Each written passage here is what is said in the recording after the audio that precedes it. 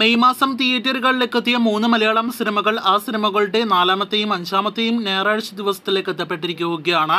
മന്ദാകിനി തലവൻ ഗുരുവായൂർ അമ്പലനടയിൽ തുടങ്ങിയ സിനിമകളുടെ ഇന്നത്തെ ഞായറാഴ്ച ട്രാക്കിംഗ് റിപ്പോർട്ട് പുറത്തു വരുമ്പോൾ മൂന്ന് സിനിമകൾക്കും മികച്ച കളക്ഷൻ വർധന നേടിയെടുക്കാനായിട്ട് കഴിഞ്ഞിരിക്കുകയാണ്. ഇന്നലെ ഇതേ സമയം മൂന്ന് ലക്ഷത്തിൽ താഴെയാണെങ്കിൽ ഇന്ന് ഞായറാഴ്ച നാല് ലക്ഷത്തി അറുപതിനായിരത്തിന് മുകളിലേക്ക് മന്ദാകിനി കേരള ട്രാക്കിംഗ് റോസ് എത്തപ്പെട്ടിരിക്കുകയാണ്. ഒഫീഷ്യൽ കളക്ഷൻ പോസ്റ്റർ കഴിഞ്ഞ ദിവസം അഞ്ച് കോടി അമ്പത് കോടിയുടെ പോസ്റ്റർ വന്നെങ്കിൽ പോലും അഞ്ച് കോടിയിലേക്ക് സിനിമയുടെ വേൾഡ് വൈഡ് ഗ്രോസ് യഥാർത്ഥത്തിൽ അടുക്കുന്നതേയുള്ളൂ. നേരത്തെ തിയേറ്ററുകളിലേക്ക് എത്തിയ Bollywood സിനിമയാണല്ലോ Mr and Mrs Mahi Janhvi Kapoor ഒപ്പം തന്നെ രാജ്കുമാർ റാവു തുടങ്ങിയ പ്രധാന റോളുകളിലെത്തിയ സിനിമയുടെ വേൾഡ് വൈഡ് ഗ്രോസ് അങ്ങനെ അമ്പത് കോടി രൂപയ്ക്ക് മുകളിലേക്ക് എത്തപ്പെട്ടിരിക്കുകയാണ്. ഇന്ത്യയിൽ നിന്ന് മാത്രം നാൽപ്പത് കോടിയിലേറെ നെറ്റ് കളക്ഷൻ നേടിയെടുത്തതോടെയാണ് സിനിമയുടെ അൻപത് കോടി ഒഫീഷ്യൽ പോസ്റ്റർ പുറത്തു വന്നിരിക്കുന്നത്.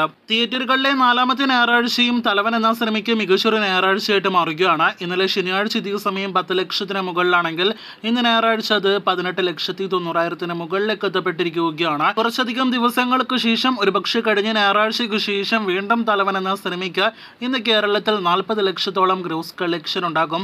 വളരെ മികച്ചൊരു ഹോൾഡോടെ സിനിമ ഇപ്പോഴും മുന്നേറുകയാണ്. ഇരുപത്തിരണ്ട് കോടി രൂപയ്ക്ക് മുകളിലേക്ക് സിനിമയുടെ വേൾഡ് വൈഡ് ഗ്രോസ് കളക്ഷൻ എത്തിയിട്ടുണ്ടാകുമെന്നും പ്രതീക്ഷിക്കുന്നു. അതേസമയം ഗുരുവായൂർ അമ്പല നടയിൽ എന്ന സിനിമയിലേക്ക് വരികയാണെങ്കിൽ ചിത്രത്തിന്റെ അഞ്ചാമത്തെ ഞായറാഴ്ചയാണ് ഇന്ന്.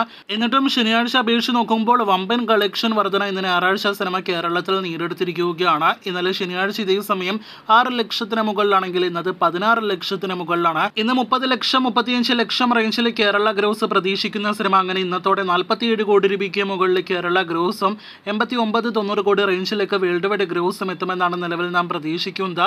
നാളെ തിങ്കളാഴ്ച ഏറ്റവും പുതിയ മലയാളം സിനിമകളുടെ ഇതടക്കമുള്ള യഥാർത്ഥ ബോക്സ് ഓഫീസ് കണക്കുകൾ പുറത്തു വന്നേക്കും. കാത്തിരിക്കൂ കൂടുതൽ ഇതുപോലുള്ള കളക്ഷൻ റിപ്പോർട്ട് വീഡിയോകൾ കേട്ട്